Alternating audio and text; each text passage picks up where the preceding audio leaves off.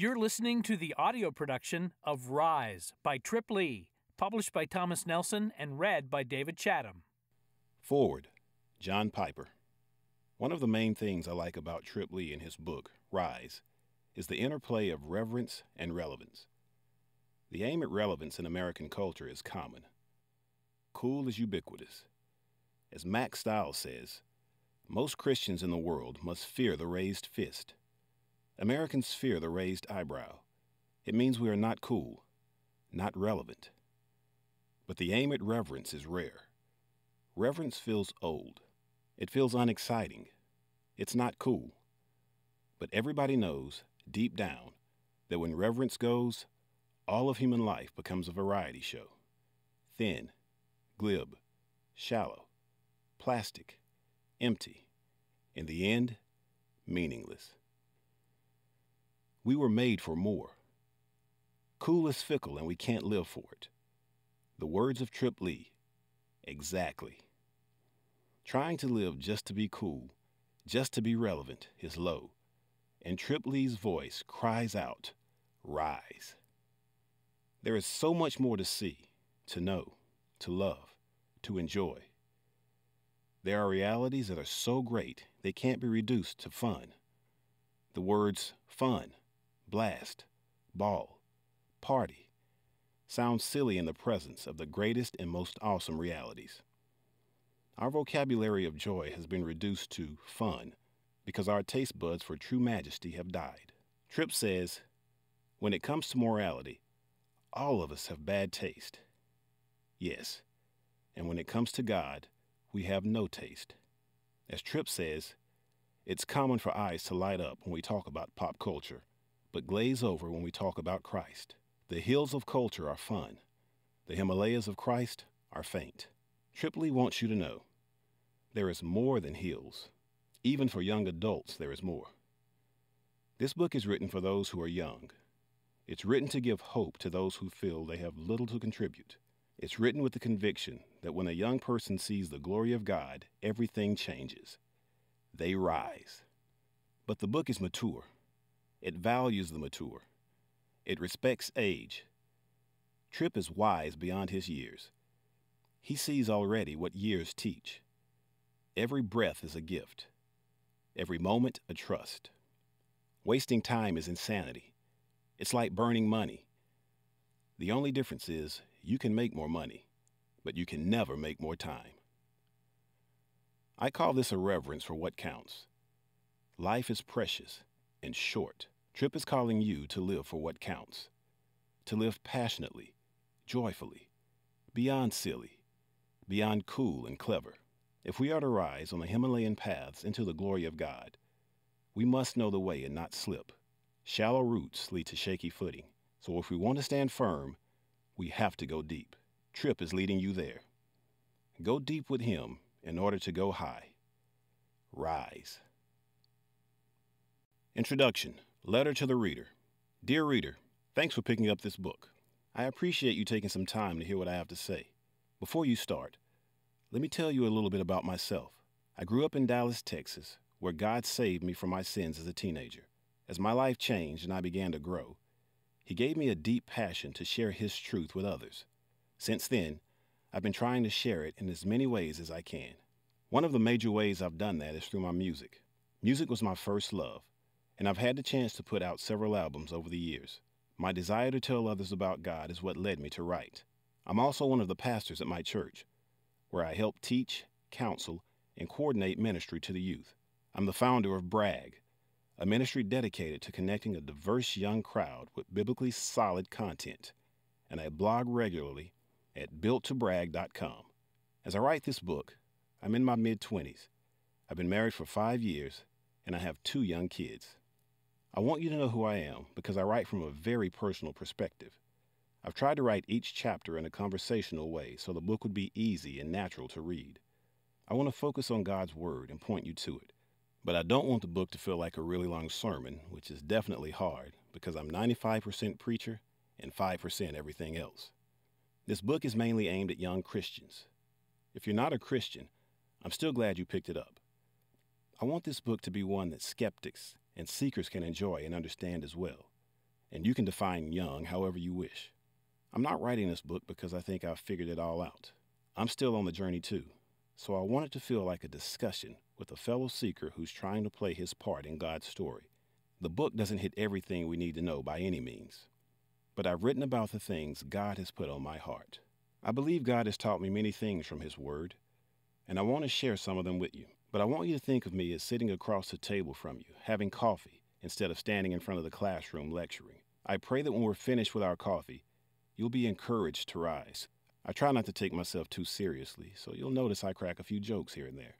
If you don't think I'm funny, that's okay because my wife does. Moving on, I want you to know what to expect as you trek through these pages. The book is split into three main sections getting up, growing up, and pointing up. The first section talks about what it means for each of us to embrace our role in God's story and to rise to the calling. The second section talks about how to grow in the roles God has shown us. And the final section talks about how our rising points people to the glory of God, who raises people from the dead. I try to approach each of these areas with consideration of the unique struggles of young people, like you and me. If I had to sum this book up in one sentence, it would be this Get up and live. That's my sincere prayer for you. I hope this book encourages you in that direction. Trip Lee. Chapter 1 7 a.m. Logic. I was 15 years old and my life was being turned inside out. My name and appearance hadn't changed, but everything else about me had. I was a completely different person than I had been a year or two before. I don't mean like when people go to college and recreate themselves with new nicknames and personalities. I mean something significant had gone on inside of me. I had become a Christian. I felt new. I felt alive. I felt so good that I had to announce it to anyone who would listen, especially my closest friends and family. Everyone responded differently to the change in me, some with joy, others with resistance. But one conversation has always stood out to me. I was talking with an older man whom I greatly respected, thrilled to explain my game plan for honoring God with my lifestyle, specifically my sexual purity. I tried to be calm about it, but it was always hard to hold my excitement in. As the words leapt from my tongue at an unnatural pace, I got the sense that he wasn't as excited as I was. He was trying to listen quietly, but his facial expression responded before his mouth had a chance. He seemed halfway amused and halfway concerned. He gave me a confused look and calmly asked, Why are you taking life so seriously, young man? Why are you trying so hard to do everything right? Youth is a time when you mess up a lot, and that's okay. Just enjoy yourself, learn from those mistakes, and get serious when you get older. I was stunned. Some might have taken that advice as liberating and honest, but that's not how it felt to me. It felt constraining and misleading. I knew what he said was wrong, but I was a new Christian and I couldn't quite put it into words.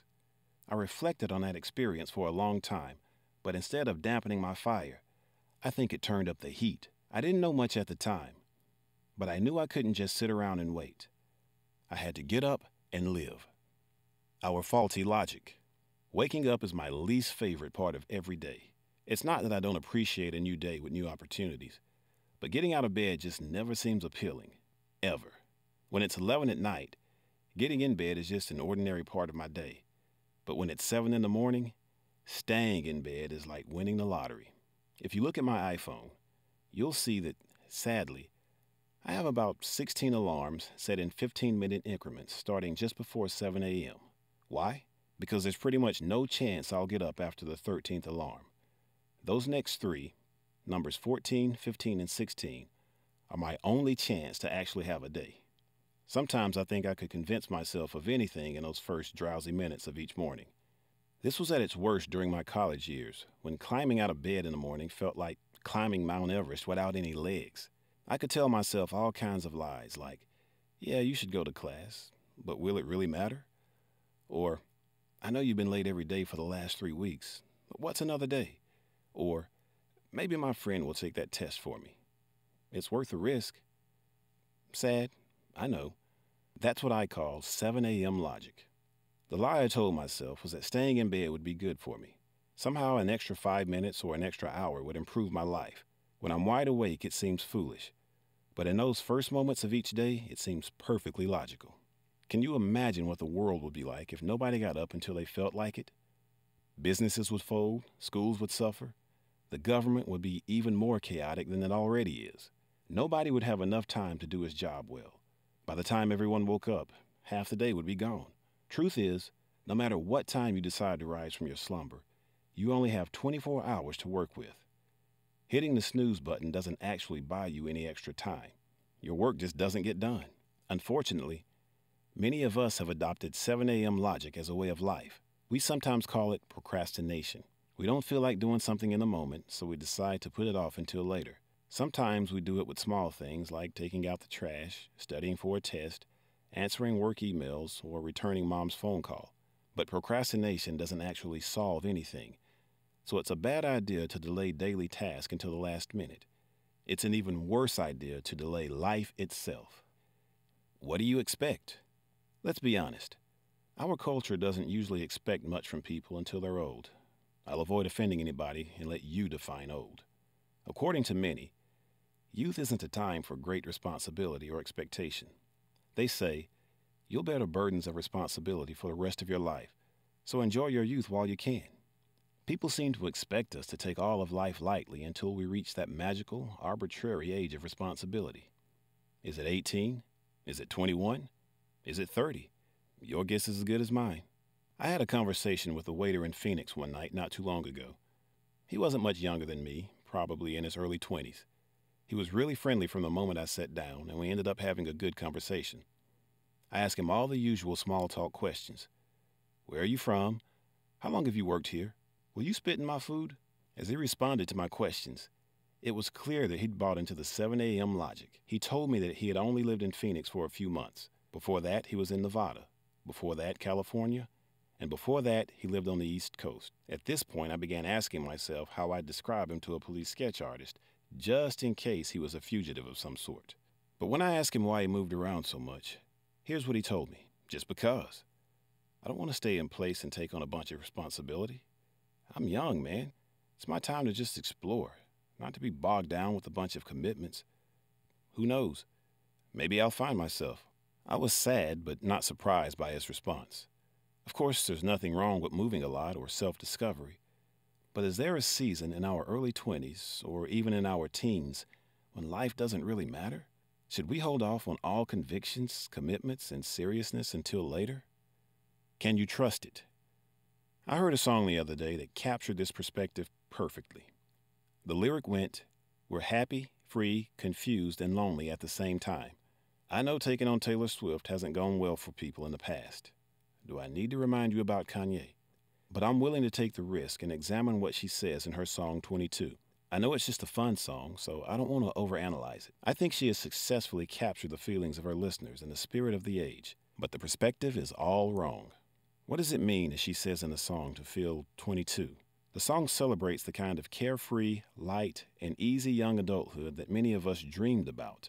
Unfortunately, it suggests that this happiness and freedom is found in confused, sometimes miserable wanderings. There's no direction, no responsibility, just chaotic fun. It's that 7 a.m. logic again. Who has time for life when you feel 22? Swift didn't make this perspective up. We've been sold this logic over and over again, but can it be trusted? Whether or not this 7 a.m. logic is trustworthy depends on who you are and what you were created for. If you are only created for self satisfaction and enjoyment, then putting off real life until later may be the best choice. If you're nothing more than a person looking out for yourself, then that young waiter's logic may seem pretty sound. You can wait until later to wake up if you want to. But what if you were created for something more? Who are you? All of us are born with a beautiful, naive joy. As babies, the world seems like a good place. Our needs are usually met, and each day brings new discoveries. I see this so clearly in my two year old son. It seems like he's happy for no reason. Eye contact makes him grin, and sudden movements provoke explosive laughter. As far as he knows, all of life is beautiful. Yes, he's traumatized at the thought of waiting five seconds for food, and he's already had a few scares in the hospital. But it hasn't fazed him. He seems to have a momentary memory that can go from intense tears to intense joy in seconds, but it won't always be so. Reality hits all of us eventually. Naive joy and perceived innocence can only survive for so long in our world. It happens for some of us earlier than others, but all of us snap out of it and realize the truth. Our world is a mess. Life is full of hardship. Something's not right. We watch the news and feel that pit in our stomach when we hear of tsunamis killing hundreds or thousands in other countries. We shudder when we hear deafening gunshots echo in our neighborhoods. We grieve when aggressive cancer invades the bodies of our relatives. We instinctively know that this is not how life was meant to be. And when we come to that discovery, whether at age 2 or 22, we respond in different ways. We're forced to ask ourselves where we fit in all of this mess. Some of us think too highly of ourselves. In our pride, we think this wrongness, this evil chaos, is only outside of us. We assume that we've escaped the destruction, as if we're in a house on fire and didn't get burned. Others think too lowly of ourselves. We know we're not perfect. As a matter of fact, we think everyone around us is aware of our shortcomings too. Our lives don't matter that much, so it's pointless to think deeply about how we should live. Maybe God cares about us, but if so, it's hard to tell. Both these perspectives miss the mark, and both can lead to delaying true life instead of embracing it. The truth is, we're not perfect and we're not worthless. The Bible tells us that we're beautifully made but broken. Our flawless creator made us in his image. Genesis 1:27. He thought us up, carefully crafted our frames, and breathed life into us. And after God created the world, including mankind, he took a step back, admired his handiwork, and called it very good. Genesis 1:31. But it didn't stay that way. Sin entered the world, and since then everything has been a mess. Our world is sick, and none of us are immune to the infection. At our cores, we're sinners. We purposely rebel against our Creator. We were made to be mirrors, perfectly reflecting God's goodness, but with sin, that mirror was fractured, and the reflection is distorted. Instead of following God, we assume we're wiser and follow our own misguided intuition. We're choosing what we think will make us happy, but in the process, we've made God angry. He despises sin, and He will judge us for it. We're beautifully made, but tragically broken. The good news is that we can be put back together. God sent Jesus to repair our relationship with Him and to restore His image in us. The only way we could escape God's judgment was if Jesus took it for us. We owe more than we can pay. On the cross, He paid the death debt for sinners, and He rose three days later to give us new life. If we let go of our sin and trust Him, our old self can die with Him, and a brand new version of us can rise. If you haven't rejected your sin and embraced the Savior, I plead with you to do so. The only way you can rise is if you rise with Him. Otherwise, we're doomed to a dead life that really can't be called life at all. If you're not convinced yet, that's okay. I'd love for you to keep reading and consider what it would look like to get up and live for the first time. If you submitted yourself to Jesus, your new life has already begun. There's no in between phase where we just exist in youth, college, or young singles ministry. You're a real human being. We hope you enjoyed this preview. To continue listening to this audiobook on Google Play Books, use the link in the video description.